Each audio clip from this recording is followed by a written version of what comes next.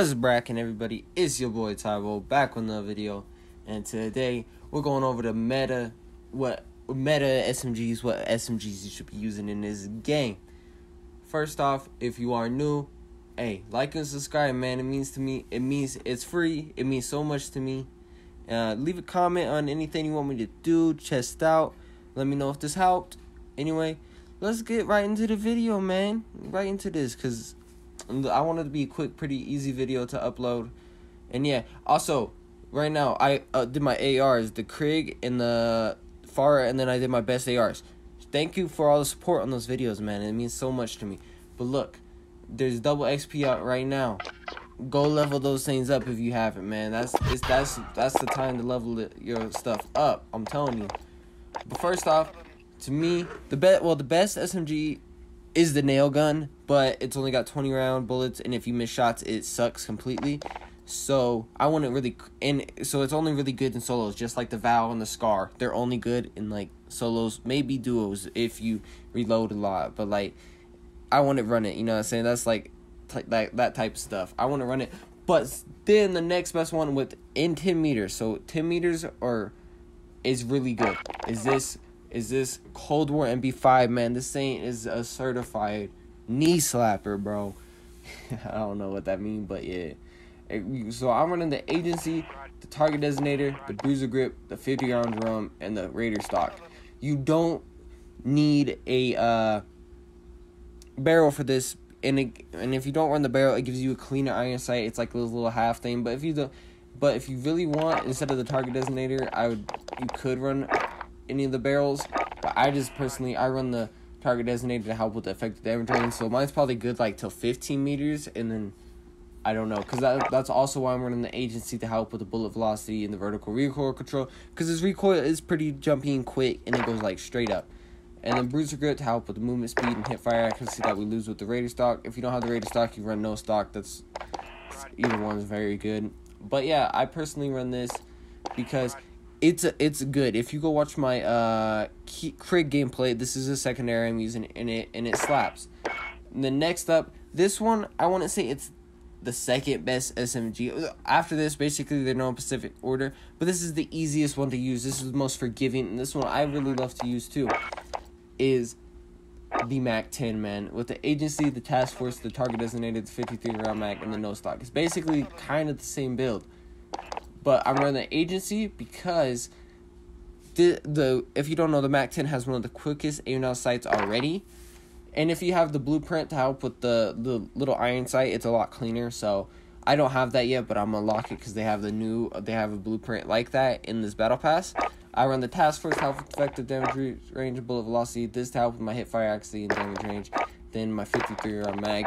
And then also I run the no stock instead of the Raider stock. You can run the Raider stock, but I run the no stock because I hip fire a lot more with my SMGs than I know.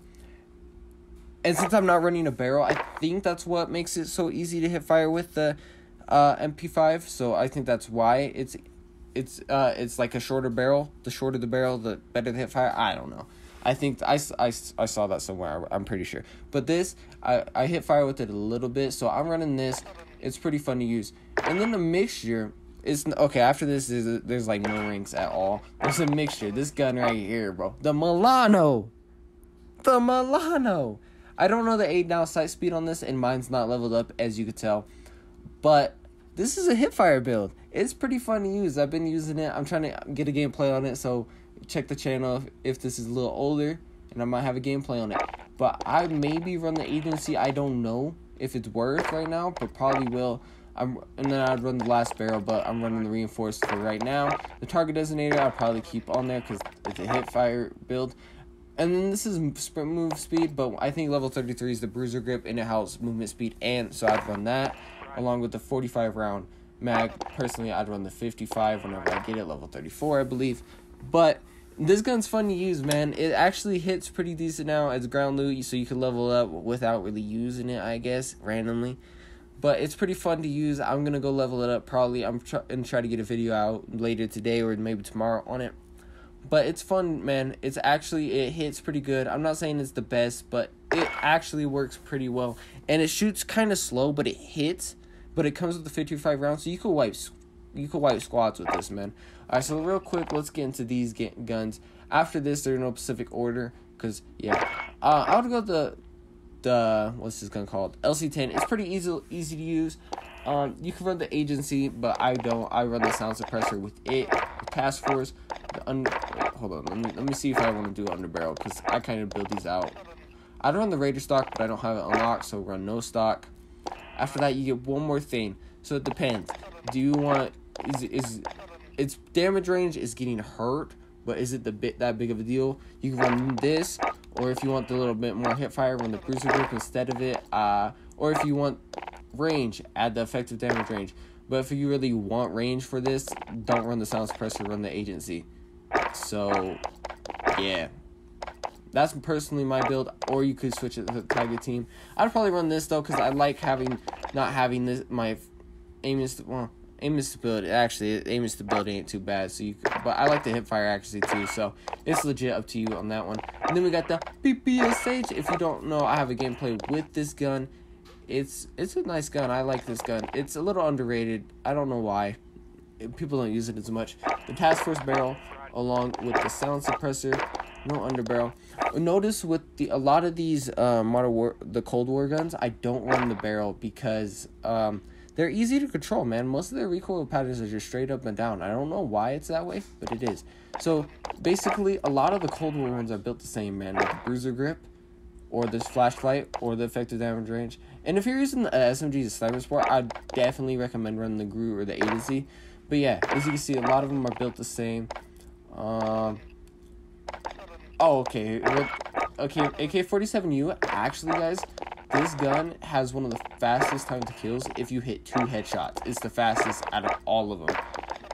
So, try it out, man. I struggled with it, though. I struggled with it. I have a couple gameplays with this, but I actually struggled with it whenever I use it. And yeah, it's the same build. You guys know. You can switch out the Bruiser Grip, the Tiger Team, or the Target Designator. Oh, this one's different though. This one's different. The Bullfrog. I run. I was running the sound suppressor. No bullet, no mag.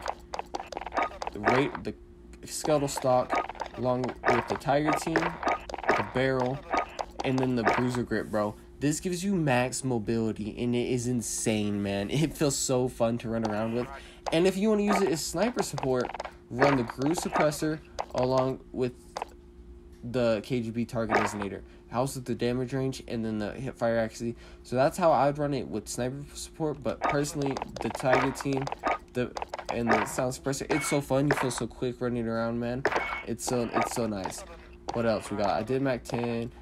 Um, none of these guns are good. Besides the, the Fennec, I'll give you guys a build real quick. It's a. If, let me know if y'all want to see Fennec gameplay. It's kind of hard to do because yeah, th this thing's. Uh, I struggle with it, man. Um, I want to run that. I'd personally run the aim down sight speed and sprint fire speed grip along with sleight of hand because it's only 40, 40 rounds and it shoots so fast that you run out of ammo quick. Or you could take the sleight of hand off and run a stock, and maybe the grip will tape off and run a tac laser. But I want to do that because that's, yeah.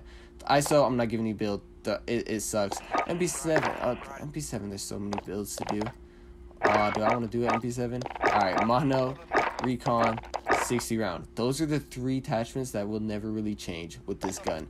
Its recoil is so easy to control, you don't need that, so you can do this, or, and then like, no stock, but I like to grip, aim down sight speed, sprint to fire speed, because it helps so much with winning those fights that you uh, you're stuck in a sprint and then you got to hurry up and get out of it or you can run this build with the merc take that off and then the hip fire accuracy to run a hip fire build like the modern warfare mp5 and it's pretty good it don't hit as like it used to i kind sometimes you'll lose out t you'll lose fights to ttk but if you if you're playing right you most of the time you'll do good then the last build this is actually really still viable in the game is the M- Cold War MP5. I have a gameplay on that. Audio's messed up on that gameplay, so if you really want to watch it, go watch it. Thank you for support, man. 5 milliwatt laser along I was running this of course staying outside speed sprint to fire speed because you know, I feel like the modern warfare SMGs uh, they don't shoot you don't yeah they're not as mobile and fast as the Cold War but yeah this is the build I'd run that or you could run sleight of hand if you're running squads or whatever but hey I think that's it for the video really everything's pretty usable in this game. The best SMG is the Cold War within 10 meters, but after 10 meters, it's basically open game. Mac 10 I feel like is the easiest to use because it, it, it shoots pretty fast, and if you miss bullets, it's it, you don't get it's punished for it. But anyway, that's the video. Till next time, it's your boy Tybo. Hope y'all have a great day. Peace.